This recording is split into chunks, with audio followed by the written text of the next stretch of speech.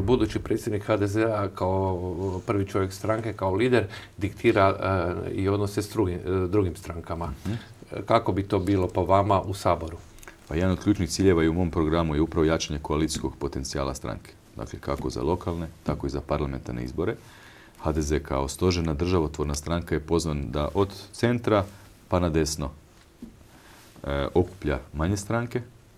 Logičan je odgovor kad gledate nas prošlim izborima, ako imate centar pa na lijevo, jednu lijevu koaliciju, zapravo da se suprostavite na nacionalnoj razini sa e, takvom koalicijom. Za to jednostavno očito je da su potrebni novi ljudi, e, novi način razgovora sa našim potencijalnim partnerima i u tom smislu ja ću ovdje otvoreno reći, a to je u koalicijskom smislu bilo je nekih razgovora, nekih od mojih protokandidata govora o tome što treba sa SDP-om. Ja sigurno smatram da je ovaj, HSP eh, HDZ-u biti koalicijski partner puno bliži nego netko na ljevici. Mhm. Suradnja s vladajućom ljevom koalicijom?